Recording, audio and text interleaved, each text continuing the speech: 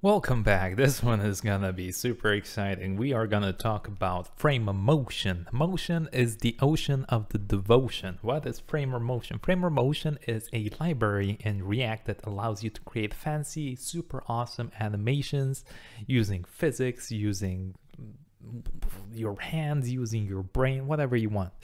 It's a fantastic tool. It's a fantastic way to integrate and add animations to your React projects you know, styling in CSS and adding animations there is very limiting. So this way is going to be super fun because we can add page transitions, we can add animations when a component uh, basically leaves the frame or when it enters the frame, when it renders, and there's so much more. So let's take a look on how we can do this. So we're going to get back to the examples here in just a bit. Let's just add it to our project. So actually we did install it. So that's another pa package we installed, Framer Motion right here.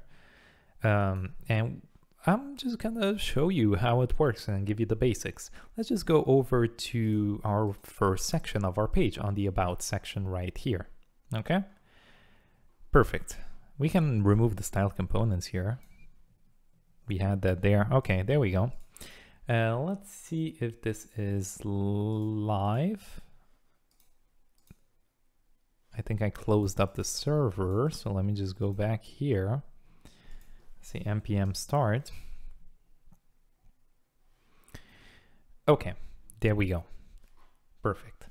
So the first thing I want to show you is how to import framer motion. So let's go here to the about section and just say framer motion. All we do is we say import like that curly brackets motion from framer motion. And that's it. Okay. And now to make something have the ability to animate, you have to replace the tag. So if we have a h2 here, we have to say motion.h2. And at the end here as well, motion.h2. Kind of like with styled components, right? We do styled nav. This is kind of the same thing, motion h2, something like that. So now that we changed our h2 to the motion h2, we have specific props that we can add here. The first one that we're gonna have is animate. So we're gonna say animate, and we're gonna set this equal to two curly brackets. The second curly bracket here represents an object. And here I can basically say something like opacity 1. Okay, so we want to animate to opacity 1. Now there's another property that we can use called initial. And this basically again describes the initial state of this H2. So where do we start and where do we end up? Well, I'm going to start from opacity 0. And that's it. I'm going to hit save. And now take a look. As soon as I refresh the page, look at that it fades in. Now it's very subtle and it's quite fast. So if you want to modify it, uh, you can go here to the animate and you can add a comma and you can define another object that's called transition like that. And here you can add another curly bracket like that. Okay. And in here, I can say something like duration two. Okay just like that. Duration 2. So now take a look. It takes 2 seconds for this to load up. How nice. Perfect. So basically this takes effect the moment that specific component renders on the screen. Okay, so this is when this effect uh, starts kicking in. So if we navigate to another page and go back here, there we go. As soon as the component starts rendering, it starts up our animation. Perfect. Super nice. Now, one thing I want to let you know is that this animate is a live property. And what I mean by that is we can basically hook this up to the state if we want, and we can animate it live like that. So as you can see, if the X here modifies, it starts animating straight away. So if the values change, the thing that you see on the screen is also gonna change as well. Look at that. So again, you can add a slider, hook it up to state, and you can pass that state in here, and you can update it live. Really cool. Okay, so this is the first step.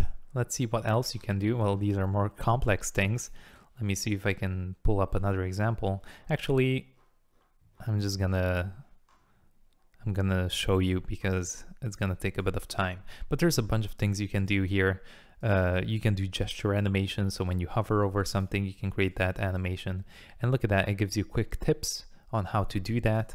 So as you can see, you just add a whileHover in there and you can add your scaling whileTap. Okay, so super simple. Uh, the API is quite beautiful. You can do dragging if you want. So I can drag this. You can do scroll type animations, path animations. We're going to cover a few of these in just a bit, but this is the basics. Basically, you add an initial, you add an animate property, and you are good to go. Now, as you might tell, this can get quite crazy when you start having a bunch of props in here, right? It's going to be quite crazy. So what we can do is we can actually separate this into a variable. So I can go here and this is what's called in Framer Motion variant. And they have quite a few benefits. So I'm just going to call this uh, const title animation like that. I'm going to set this equal again to an object, just like that. And in here, I'm going to define uh, a hidden property and maybe a show property. So hidden is going to be an object that's going to start from opacity of zero. And the show is going to be opacity of one. And in here, I'm going to add a transition of transition duration of two seconds. Okay, so a hidden and a show. So what I can do here now is get rid of everything like that. And I can just say variant and set this equal to curly brackets, this title anim object.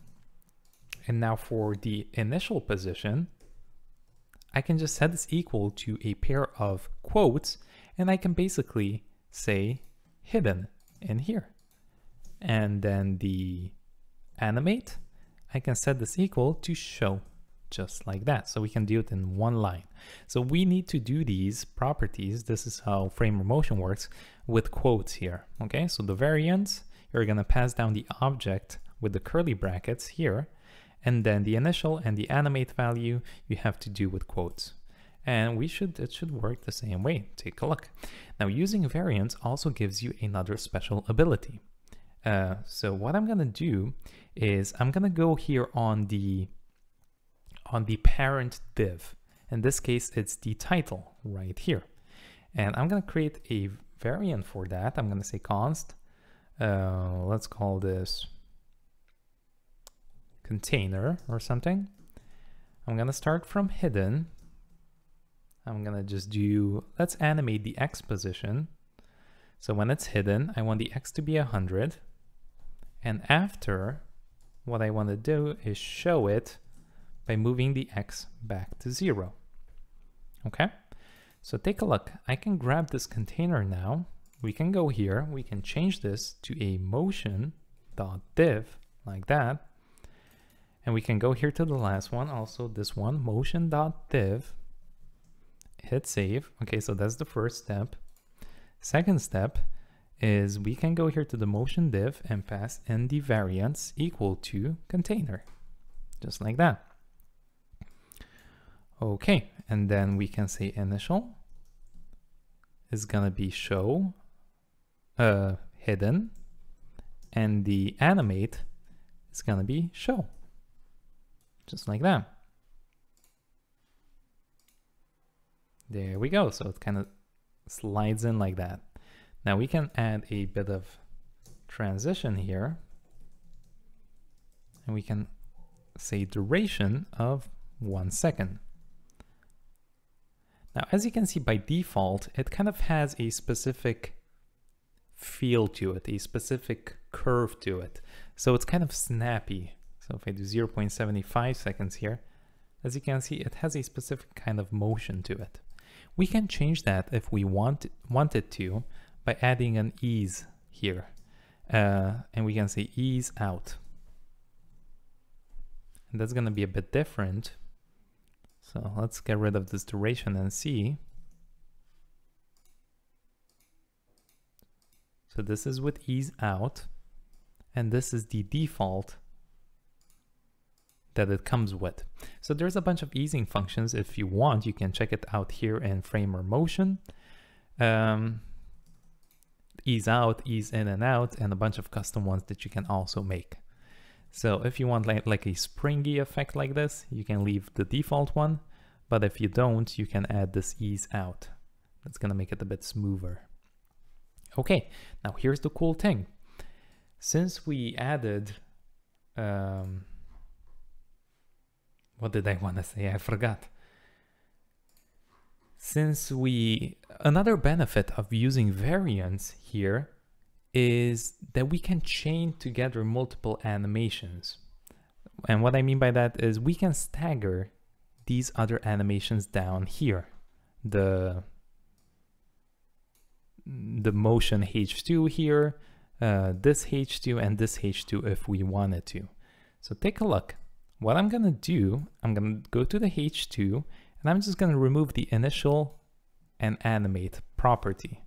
I'm just gonna leave motion H2 here with the variant of title anim. And what I'm gonna do is just copy this over here as well, H2, and paste it here as well. And just change this to motion H2, motion H2 and hit save. Okay, so what I did was I just added motion H2 to all of these. And for the variants, I just added the title anim, this one here. However, I did not add the initial and the animate to them anymore because one awesome benefit of using these variants is if you add a parent variant and you have a bunch of children in here, you can stagger them. So I can go here to the container and inside the transition, I can define another property here called stagger children like this. And I can set it equal to a number like 0.25 seconds. So let's take a look here. Let's make it a bit bigger, like a second, because this is kind of hard to see. One second.